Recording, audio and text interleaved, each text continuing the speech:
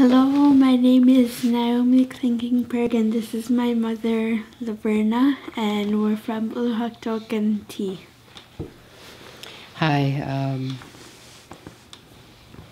I just want to share with you uh, some of the experiences I've had and some of the struggles I've had growing up.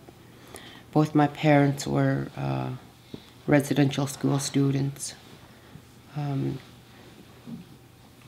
and that impact on their lives as well as our lives with the um, intergenerational effects of residential school students um, was very hard on us. Um, there was a lot of uh, alcohol abuse, um, family violence, and whatnot. Um, on top of that, my dad died in a plane crash in uh, 1989, which had a huge impact on us as a family. Um, that was very hard. We all took that really hard, and uh,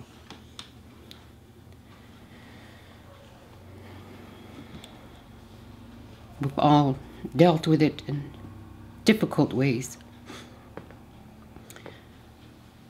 But we also grew together as a family, and we've dealt with a lot of um, a lot of hurts and pains, and with the loss of him. Um, some of the choices we made was was hard. Uh, but I can honestly say today that I'm I myself have never been more uh, together or as whole as a person if I had not uh, experienced those hard times.